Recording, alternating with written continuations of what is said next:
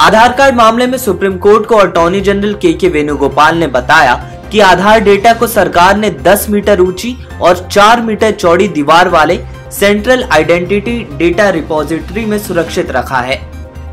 वेणुगोपाल ने सर्वोच्च अदालत से कहा, आधार केवल कुछ फौरी लाभ हासिल करने की कोशिश नहीं है, बल्कि ये भ्रष्टाचार मिटाने की सरकार की गंभीर प्रयास का हिस्सा है।